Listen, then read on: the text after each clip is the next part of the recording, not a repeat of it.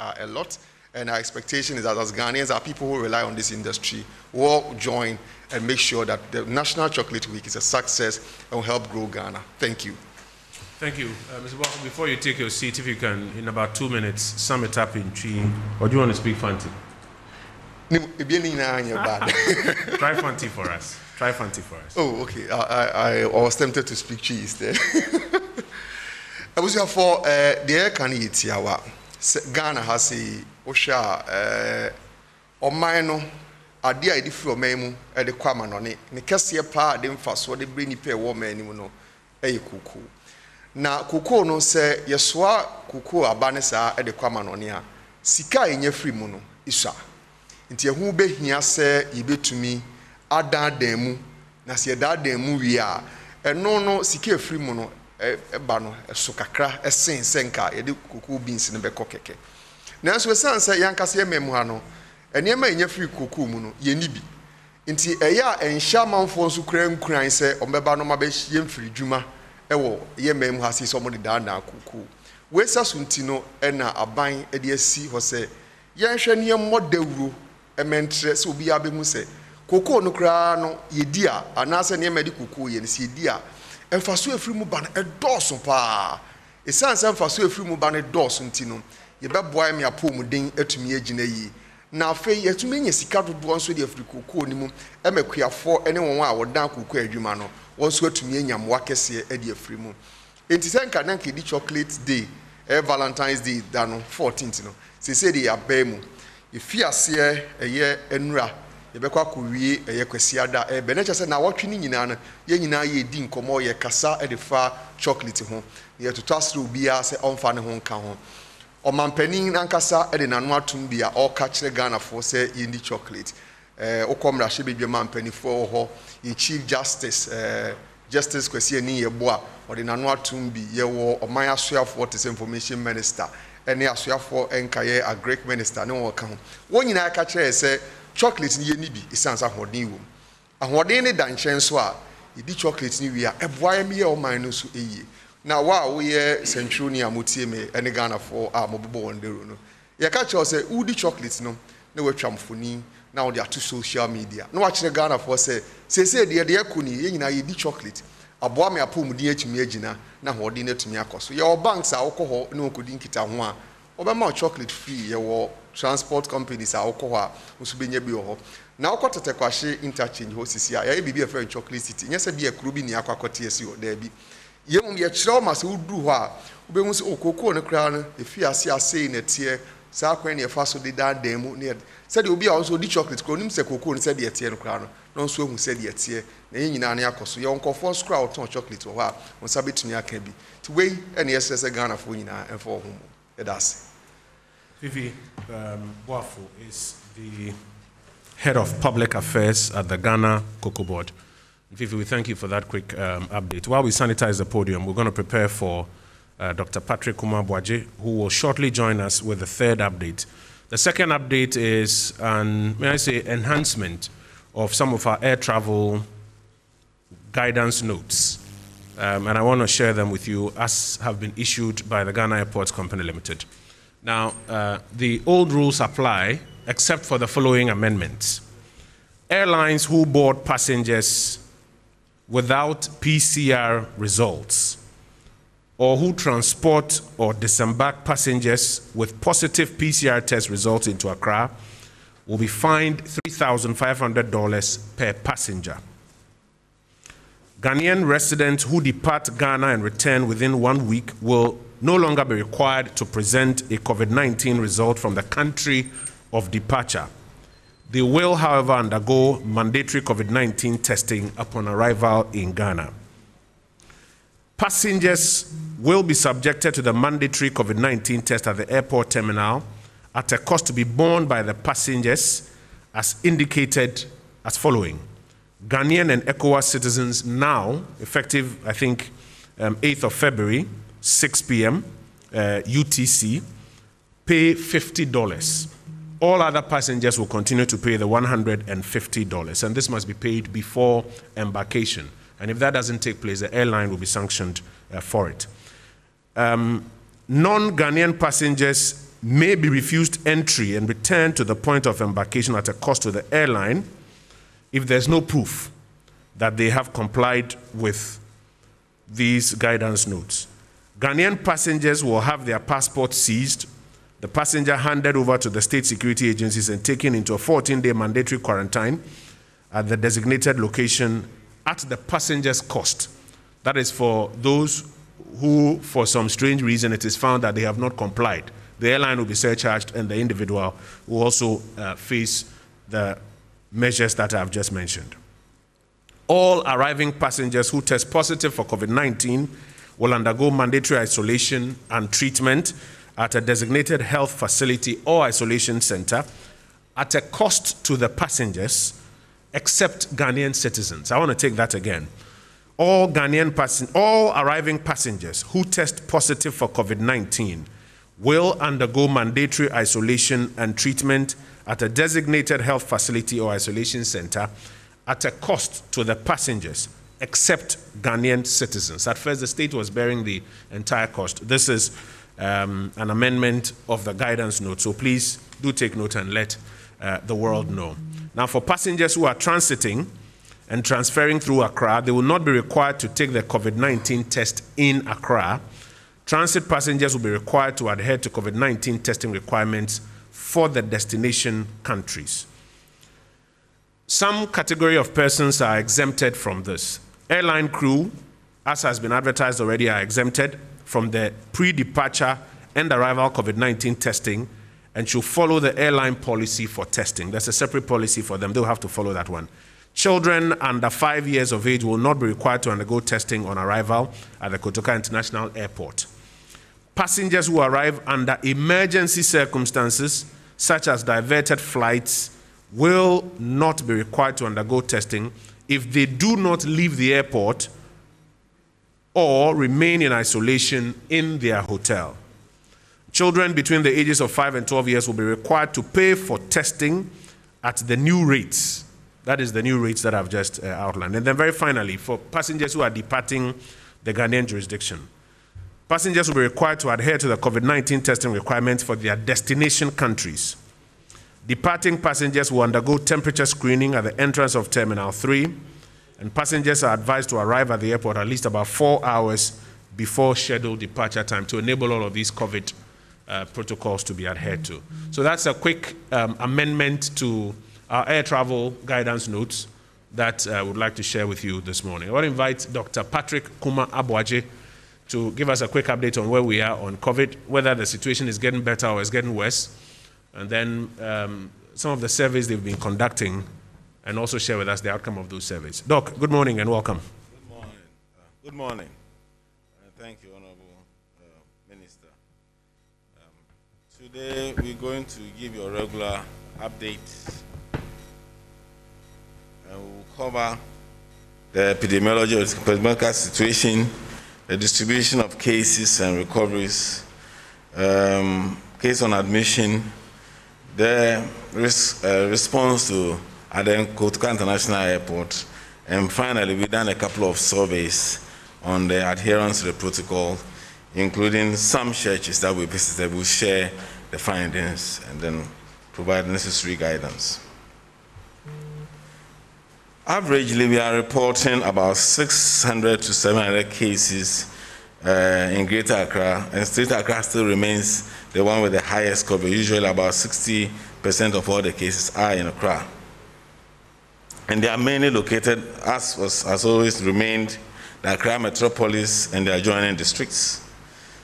We still have an increasing number of workplace outbreaks now, because now it's moved from the family outbreaks into the workplace outbreak, and so we need to look at that. There's also recorded some decline in international travel. For example, yesterday we tested 953 passengers with two positives, so that was quite an impressive reduction so far. The correct use of face masks in Greater Accra has significantly improved, and we can do more. So as the 6th of February, we have recorded about 73,003 cases. We've conducted 814,000 plus tests, leading to about 26,114 per million tests, per population with a cumulative positivity of 9. You can see that the cumulative positivity is gone up from about 8.2 to 8.4 now to 9%. We had about 89% of this number discharged. We have recorded 424 deaths and um, with active cases of about 5,515. Majority of the active cases are in Greater Accra, as I mentioned, 17% in uh, Ashanti and Western. Currently, all 16 regions have active cases, and uh, 243 districts, which means that we have about still about 17 districts that has not reported any case yet. For this current reporting period, about eight regions did not report any case at all. We have done a lot of contact tracing. They listed about 12,000 since January, and we have followed about 11,926, and 576 of this number have tested positive, bringing the positivity among contacts about 4.8%. As you are uh, aware, we are talking about the new variant and the current statistics, as based on the analysis that was done both from uh, passengers and population, we have, I'm going to take you through what it is. The analysis, uh, as at November, there was no new variant uh, in Ghana, but about, about 90 viral sequences was done. In December, we discovered presence of the UK variants in patients were detected. In January, when we did a mandatory quarantine for at the KIA, we found about 45% of those quarantined had a UK variant. 15% had a South African variant, this is a percentage, but in actual fact, it comes about one. In the travelers, January um, 2021, the UK variant was found in patients in Greater Accra, about 88%, 90% in Takoradi, and 25% in Tamale. So far, no South African strain have been detected in the local patients in Ghana. So, so that is what you have shown there in the chart. If you look at the next slide, which shows at the epidemiological curve, you can see that this current wave is going up. Um, it's remained stable up there. We are hoping that with improvement in our protocols and adherence to uh, hand washing, social distancing, and mask wearing, and of course with the, uh, with the implementation of the new restrictions, we should expect that if we all follow, it should come down. And the same shows that the moving average of um, the cases that is now doing about 600 has remained around 600 for a while now, the last few days. Let's hope that it stays way and starts coming down. But that will depend on what we do, and that's quite important that we do that. The next slide shows the um, active cases against the, the total number of cases ever reported. You can see that Greater Accra, Ashanti, Eastern, Central, and Western still remains the, the dominant area where we reported so many cases. You can look at the monthly distribution of cases. You can see that uh, still Greater Accra accounts for a significant number of the cases uh, at all times. And the active cases, as you can see, has reached a, a level that we've never reached before. You can see that it's really uh, gone quite high.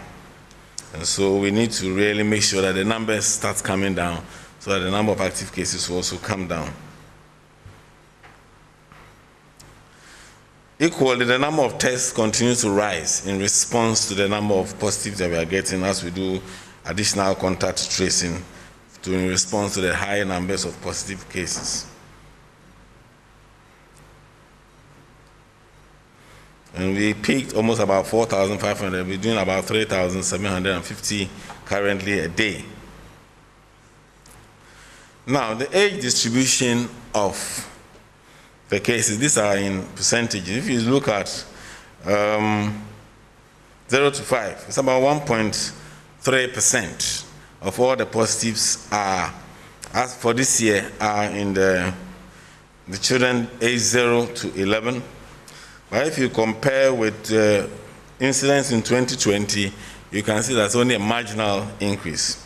If you look at the 5 to 14, there's a slight increase in 2020, of course, looking to about 3.9% compared to 3.1%. 15 to 24, you've seen a reduction, a slight reduction from 17% in 2020 to about 13% of the proportion of those who are positive now belonging to that class. In the area of 25 to 44, which is the most active group with number of cases, the percentage remained the same, not no much change.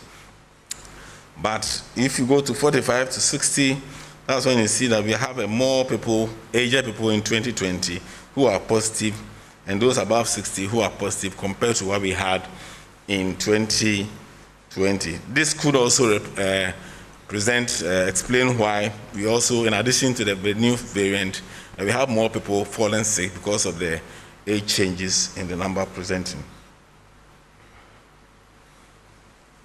So for today, we have recorded 675 cases. Probably the first below 700 in the last almost 8 to 10 days. They came from 44 districts and 8 regions and the airport. Greater Accra recorded the highest number of 84.8% of all of them came from Accra. Um, in 13 districts and metro, uh, Greater Accra recording the, the, highest amount. Ashanti recorded 99 new cases from nine districts, with Oforikrom recording the highest uh, number of cases. And must say that Oforikrom and Ayawaso West, it is because of the location of the labs and the way it is reported. It doesn't mean that Ayawaso West is the, the, the, the and Oforikrom is the dawn of uh, COVID, but it's the, the reporting practice because of the labs. Eastern region had 52 cases, mainly from Upper Manya Krobo, then Chembo, Jabin, South, and Abuakwa. Western region had 35 new cases from Tarkwa, Mpohor, Ahanta West, Wassa East, Jomoro, Nzema, and Wassa Amenfi. Volta region reported 50 new cases, um, Ho had five, Hohoe 29, North Dayi 15, Southern 1. Central region reported 10 new cases uh, in Upper Denkyira, East and Western, 8 new cases. From Bia, Trebo D1 and Sefiyo also, that's Western of uh, 4. In Bono, we have 13 new cases. 13 new cases in Sunyani, Dormaa Central and Berekum West with two. Dormaa Central had five cases. At the Kotoka International Airport on the 5th and 6th, we reported five new cases. And as I said earlier, Bono Ahafo, Ahafo, Bono East, Northeast, Northern, Oti, Savannah, and Upper East and Upper West did not report any case on these dates. Our total number of cases on addition across the country is 267 for COVID. We have 29 of them being critical, and severe cases about 111, and the 127 of them are mild to moderate cases who are currently on admission.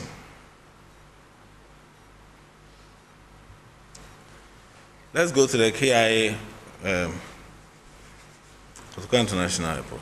Yeah. We have so far reported positives of about 1,158 so far, with a predominantly male 61% and 39% being female. And of course, um, a significant number are non-Ghanaians, 60% against 40% Ghanaians. And so far, we've tested about 157,000 uh, cases with a cumulative positivity rate of 0.73%. So you can see that even the positivity rate is still lower than the general population in Ghana. As we said, we peaked somehow in, then we had a lot of large cases in December and January. But in the last, since February, we received some uh, reduction as shows on the daily positives that are recorded. And in the next slide, show you that in January we have 430 as against 46 in September when we reported. So far, at the end of the first week of February, we have recorded 27 positive cases. We are hoping that if the trend continues, we'll record much lower figure than January and December. Update from the schools. I believe that um, there's been a lot of talk about this. We've had um, upper senior secondary school outbreaks in um, Upper West, Western, Greater Accra, and Eastern region. 23 uh, schools in Greater Accra have so far reported 56 cases and no fatality. And I must show that parents have duly been informed. So if I come to that, we can look at the, the spread of the schools that are, then we have uh, averagely uh, 23 cases and total recovery zero uh, among others. But you can see that we also have some uh, suspected cases of about 166 that we are still uh, following up to see. And we have some staff also affected in the schools. Central region has also reported um, Okay, let me talk first about the Akosombo one. As of 28th of January, a total of 500 in the Akosombo International one that has always been in the media. As of the, we had done a total of 553 samples have been tested, with 82 of them being positive. Uh, students were 73, and nine staff were positive.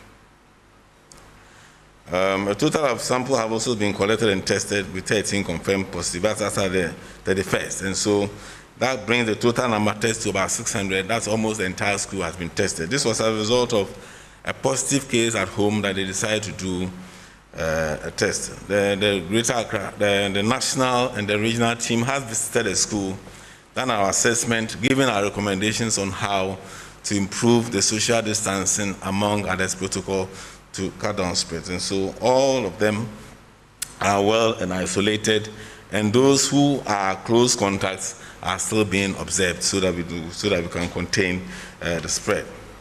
Central region and all the whole region has reported eight cases from about seven or so schools. Two of them have already recovered, so they have six active cases among the schools in central uh, region. So that's it for the schools. When it comes to the face mask survey, we have, uh, I said, the adherent protocol on face masks in Greater Accra region. Uh, we have six target districts, uh, which are the current hotspots. Uh, we also visited 43 communities, including lorry parks, bus stops, busy streets, street intersections, overhead, under, um, under traffic lights, crossings, markets, and commercial centers, etc. Uh, the data was collected 29 January, and then subsequent one has already been done. So, unlike the previous one where we had about 42, the number of people wearing masks appropriately has improved, moved from the 42% to 47%. Those not wearing masks at all is um, 29, and those not wearing correctly is 24%. So, the, that's still quite marginal improvement. We expect it to get more. So we look at the morning and then um, afternoon. You can see that the morning is better. In the morning, we had about 52% wearing masks, as against 41% in the afternoon. I don't know whether were, it was the heat or whatever, but the number declined at that level, uh, but the rest remained uh, the same. So that's the when you do a comparison in the morning. The next slide shows you the current trends in terms of wearing masks that since the seventh survey, we have seen move to 42% and now to 47%. We hope that the trend will continue going up, and while those who are not wearing masks at all will also continue coming down, having dropped from 36% to 29%. Those who are wearing masks, who are not wearing masks correctly, are to move from 22 to 24%. So we are hoping that all of them will start coming down, whilst the green one starts surging. So, in conclusion, the wearing of masks already has increased from 42 to 47. Those not wearing masks at all decreased to from 26 to 29. Um, base mask wearing is generally better in the morning than in the afternoon. And this applies to both adults and children. Uh, 59, 54.9, 55% of children wore masks correctly in the morning, and it dropped to 29.5% during the late afternoon. 51% of adults who wore masks correctly in the morning dropped to 43% late in the afternoon. So it looks like the afternoon is something we need to really make an effort to ensure that people keep their mask on in the afternoon. And also increase generally, even the morning one. Generally, correct wearing of the mask has seen an improvement in some communities that we visited. For example, in, the previous survey, University of Ghana main entrance, we had 78% of the people observed found to be wearing their face mask correctly compared to 84% uh, in the latest survey. Another example is the Nima, where 70, nearly 70% of people wore, uh, were not observed wearing the face mask at all. In the previous survey, declined to 67%. And so there's an appreciable increase in the adherence to the protocols. The proportion of people who are wearing masks correctly in the face mask slightly higher among adults than for the children. The proportion who are not wearing the face mask at all were also slightly higher among males than the females. And Ayawaso West District registered the highest proportion of people who were wearing the face mask correctly, 60.3%. And Ablekuma Central registered the lowest proportion uh, not wearing mask correctly at two, uh, almost 30, 40, 37%, 36.9%. The top three communities located uh, lo uh, location that had the highest proportion of people wearing the mask correctly were University of Ghana, Legon main entrance, and then the 37 military uh, hospital bus station. The top three communities where they, they, have the highest proportion of people not wearing masks are the Nima Market, uh, Park, and Asofan Last Stop uh, bus stop, which is about 62% of them were not wearing masks at all. So let's take note, and I hope they also get the message. So, in conclusion, compared to the last survey, the number of people wearing the face mask correctly moved, increased from 42% to 47. I think this is just uh, a rehash of what we've done. We subsequently went on to do the protocol in some selected churches in Greater Accra. And these are some of the findings. The number of churches visited were about 38 in 14 districts. Um, we also had churches, um,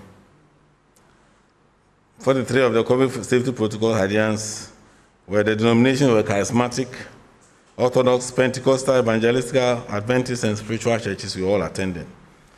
The sizes of the churches, we have very large churches. That's those, we are classified as those very large churches with over 1,000 um, membership, between 500 and 999. Uh, the large, medium of uh, 100 to 500, and the small, that is those under 100. The period of visit assessment was on Saturday and Sunday during the entire church service. Uh, the observation and count of church members of how they wear or they wore the face mask was done. And we also look at checklists to, on adherence to COVID protocol uh, was done.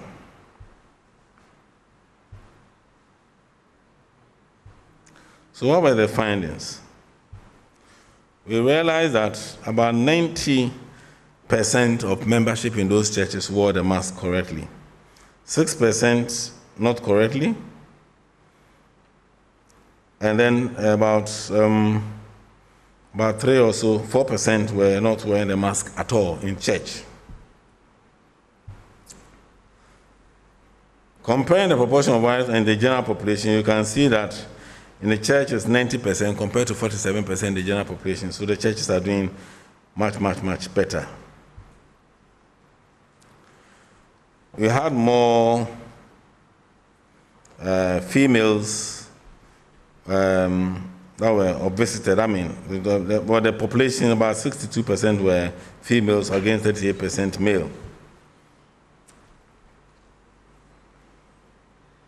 So you can see that we had for not wearing uh, comparative, it's about the same between male and female. So there's not wearing mask at all. It's about the same, 4.3 to 4.1 percent between male and female. Uh, not wearing correctly, it's about 56, 5, 5.6 against 5.8. So that we didn't see significant changes between males and females, whether they wear them well or they wore at all.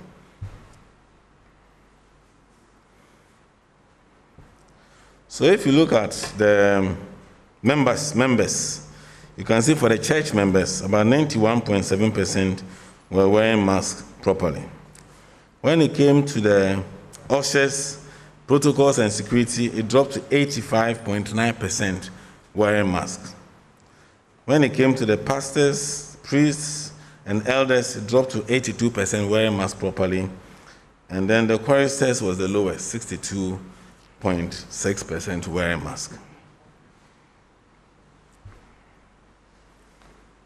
If you look at also in terms of the classification of the churches, the larger churches were doing better in terms of wearing the mask. About 98.6% of the large churches wore their mask religiously, and then it drops to 73% for the, the small churches. So when it comes to the protocols, we looked at availability of one location at the church, that is uh, where, um, when it comes to temperature screening, we had 25% when having the uh, temperature. 13 had some means of taking temperature. About five of them had no method of checking temperature at all. So that is in breach of the protocol that we disagree with them. Hand hygiene, we had about um, 7% uh, available of the 43 churches, 44, 43 churches we visited, 7% had none at all. They had it available. Utilization also dropped to about 88%. So having is one, using is another. So there's a slight drop in the number of people who actually use the availability of hand hygiene uh, protocols.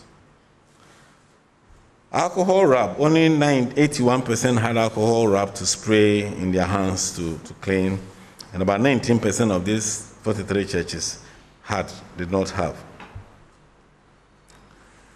For social distancing, we looked at adequate space arrangement of church pews and to ensure uh, distance, social distance in church, about 88% had.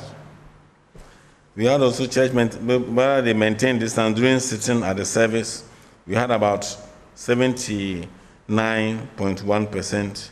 Choristers and singers maintained social distancing, it dropped to 74.4%.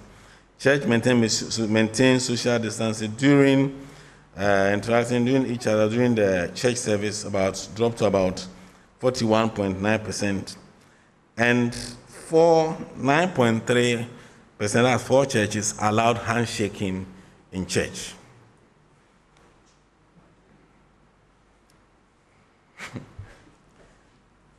when it comes to the use of the microscope, the microphone, sorry, the choir members and their singers exchange who are exchanging microphones during the singing was about 48%. They were exchanging microphone. Only 41% actually frequently sanitized the microphones that they were exchanging among themselves. So that's a major challenge that has to be addressed. Risk communication. Posters, do they, do they have posted information about the face mask use? Yes, about 81% um, had um, the information posters. Were they making audio announcements uh, in the risk communication? Yes, that's also that number dropped about the use of hand hygiene and well, as much. The duration of church service.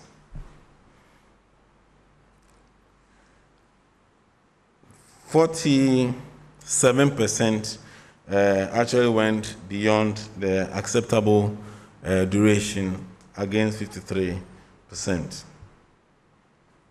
So, in summary, 90% of all members of the church, that's 38 churches, visited wore their mask correctly, 6% were not.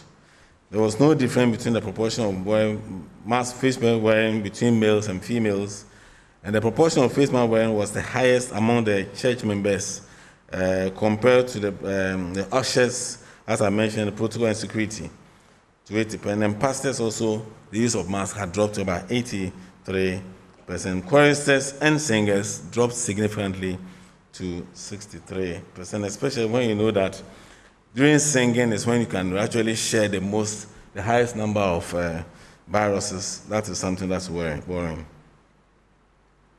Proportion of correct wearing of masks was highest in the large churches, 99%, uh, compared to 88% among the lower, the smaller churches.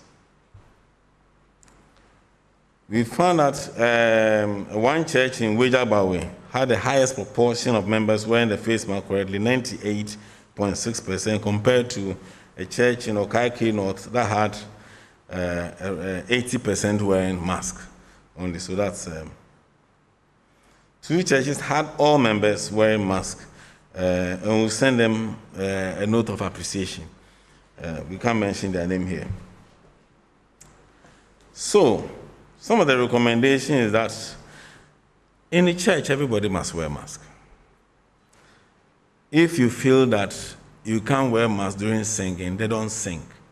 Because that's when you really shed most of the this thing. All ushers, security members should wear masks at all times. So they are the ones who come in contact with nearly everybody. So that if they are not wearing masks, it creates more danger to the population, who people who are protecting themselves. The no mask, no entry, and the maintenance of wearing a mask during should be enforced in all churches. We're also encouraging churches to keep record of people who attend churches so that in the event of an outbreak, we're able to do contact tracing. We should ensure that the hand hygiene facilities are provided and utilized. Alcohol wraps should be encouraged in church. The leadership to ensure that members do not shake hands in church. Very, very important. Regular announcement of the safety protocols should be uh, encouraged to be done more frequently, and the church should ensure that duration of stays stays within the two hours that has been recommended as part of the restriction and the recommendations made. So, in conclusion, broadly, the, the daily case incidence has been rising from the end of December and has, has, however, remained high. But the number has remained stable in the last almost a week or so, and we are hoping that the number will start coming down. But of course, that depends on what we do. There's been a significant decline in the cases at Kotoka International Airport. There's been an observed improvement in the face mask use and adherence to the protocol generally. Uh, minor sporadic